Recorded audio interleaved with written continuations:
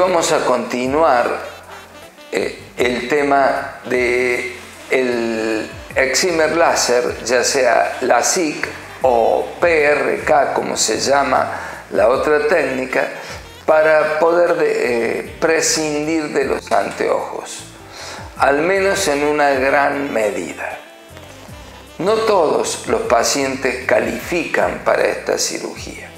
Hay una serie de estudios sobre la córnea, que es la que dijimos que iba a ser tratada. Hay una serie de estudios que tenemos que hacer para ver si es eh, factible.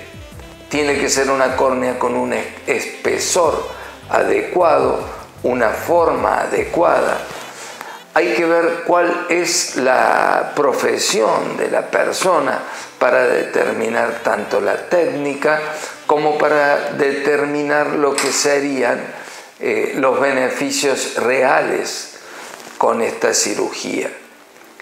Enfermedades como el ojo seco, una enfermedad hoy muy común y que por diversas medidas o diversas razones como pueden ser medicamentos, hormonas, aplicaciones de hormonas, el paciente va a tener un ojo donde la lágrima, que es parte del sistema óptico del ojo, va a estar afectada y por ende no es conveniente porque tendremos desde visión fluctuante, verá mejor, verá peor, y a veces una acentuación de lo que es el ojo seco.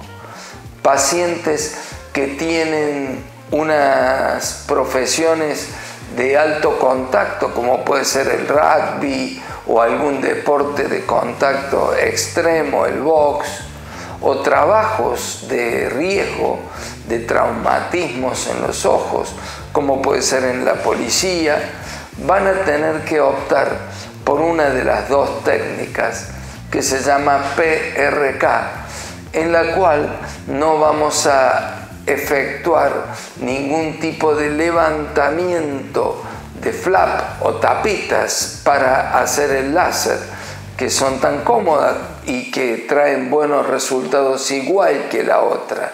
En mi caso personal, me efectué el láser hace ya más de 15 años y hasta el día de hoy puedo prescindir en una gran mayoría de mis actividades de los anteojos.